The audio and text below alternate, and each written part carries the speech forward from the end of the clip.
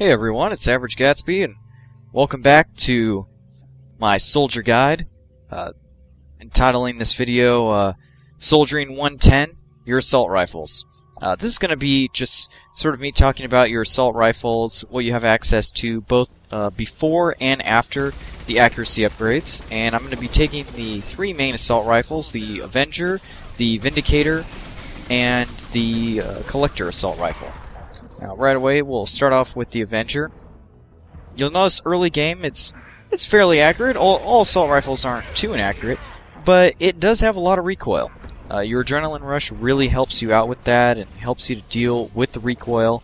Uh, but it is a, a, rapid fire weapon, so you're not necessarily uh, maximizing your damage boost when you're using your adrenaline rush with it. But not having the gun bounce up and down is really helpful you'll just notice that even though you have so much ammo, uh, you do miss quite a bit.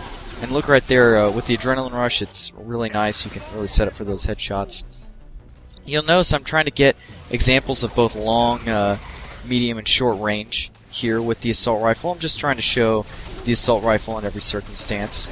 But what's nice about this weapon is that you can lay down a lot of firepower, uh, a lot of bullets uh, very quickly. So if you have a, a, status affecting weapon like disruptor ammo or cryo ammo, you uh, this is really a good gun for that. It is inaccurate though. It's the least accurate of all these assault rifles, and it has the most recoil. And you do have the problem with uh, firing from the hip. That gun is absolutely terrible at firing from the hip, so you don't want to do it. And here we have the uh, Vindicator. Before the accuracy upgrade, it's also pretty bad at firing from the hip but mainly because you really don't want to miss with this gun. This gun is unquestionably the best damage dealer. Uh, when it comes to pure damage, uh, this gun is amazing, but it runs out of ammo very quickly, and so that is going to force you, if you're predominantly using this weapon, uh, to move around and try to get ammo for it. And it's always uh, very painful when you miss a shot. Uh, so in that in that way, you don't want to be firing uh, when just from the hip. You always want to be aiming down at sights with this weapon, and you really want to make every bullet count. You know, as you can see, there's still plenty of enemies left, and I don't even have enough for two clips at this point. I've got to go and get some more ammo. Um, at closer range, you can uh, fire it from the hip and hit him, but it's still not very effective. I can think of basically no situations where early game you want to fire this weapon from the hip because the main strength of this weapon is going into cover and firing it and using its supreme accuracy to uh, get the headshots. So if you don't mind not having the ammo, this is definitely the strongest weapon to use, but it may not be the best weapon for you, just depending on how you use your assault rifle. And finally, we have the Collector Assault Rifle. Uh, this gun is kind of a, a strange mix between the Vindicator and the Avenger.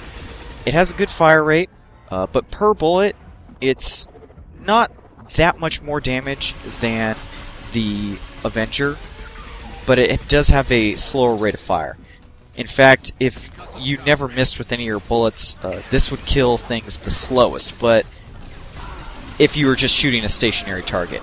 But the real advantage with this weapon is it has zero recoil, and it doesn't matter how much you hold on the trigger, the bullets always the uh, your targeting reticle always stays the same. As you can see right there, I'm I'm holding down full auto, and nothing's even bouncing around. I mean, this weapon is just it's very easy to use, and so it's easy to line up those uh, headshots over and over again with this gun. Also, if you're wondering why I'm not comparing the Geth Pulse rifle, it's because the Geth Pulse rifle is kind of a mixture between the Collector and the Avenger, and because you get it so late in the game, uh, I don't recommend as a soldier you do Tali's mission until after you've already done Samara and Thane's mission. Um, by the time you get it, you know, you've already kind of decided and you've probably figured out the soldier class by then, so you can use it if you want. I just think it's an upgraded, a slightly upgraded Avenger, uh, but I don't think it's as good as the Collector Assault Rifle uh, for the same reasons why I like it, because I like the accuracy combined with fire rate. You know, it's a good medium. Uh, the Collector is my personal favorite, but it is not the best, you know, don't get me wrong. So now we're switching back to the Avenger, and this is post accuracy upgrade. And as you can see, all of these weapons are now extremely accurate, uh, but the Avenger still suffers from its large recoil. So if you're able to always use it with your adrenaline rush on, it's fantastic. And you know, all the assault rifles are good in this game. All the weapons are good in this game. But as you can see, it still has major issues firing from the hip. I mean, its targeting uh, reticle still goes huge, even with the accuracy upgrade, and it goes huge very quickly. So you really want to be firing from cover and firing while you're aiming. And uh, if you hold down the trigger, it's best to aim low on the body so that the bullets rise up to the head and uh, not just aiming for the head right away. So it does, you know, it's able to put out a lot of bullets out there. It has a great sound effect, puts out a lot of damage, um, but it's not really my favorite. It, it it's just too, uh, it's a little bit tricky to use with the bullets just bouncing all over the place. If if you want to do more than just shoot when your adrenaline rush is on, and just meleeing her to death right there. Uh, we'll switch over to the Vindicator now. After the accuracy upgrade, I mean, this weapon is crazy accurate. It, all the bullets go exactly uh, where you want them to, and uh, it makes this weapon a lot more viable for hip fire than before. Uh, I do like to use this weapon uh, firing from the hip after the accuracy upgrade when I get sort of a, a medium to close range setting. It's really nice, and look how accurate it is even when I'm not locked into cover. I mean, you still have the same, and right there I'm firing from the hip, and as you can see, it, you know, there's very little recoil, excellent accuracy, uh, just a fantastic weapon. Its main flaw is its ammo use, so, you know, if you're concerned about firing, if you miss a lot, you know, maybe this isn't the weapon for you. Because as you can see right here, I mean, I I did run out of ammo before uh, before I could finish her off, so I do have to come in there and use my melee, but you know, it's just something to keep in mind. You you've got to make all your shots count, and it's up to you to decide whether ammo, having a lot of ammo, is important to you or not. And then finally, the collector assault rifle. Look how accurate this weapon is. I mean, it's it's just it's pretty close to the accuracy of the Vindicator, and yet you're able to keep it on full auto mode. I mean, notice how I'm firing from the hip right there, or not firing from the hip, but I'm just firing aiming normally, not using adrenaline rush, and I have almost zero recoil. It's uh, it's really great. I, I'd say that this weapon probably benefits from adrenaline rush the least out of all the weapons. And right here, as you can see, it's a really nice uh, hip firing weapon. I fire this weapon from the hip all the time.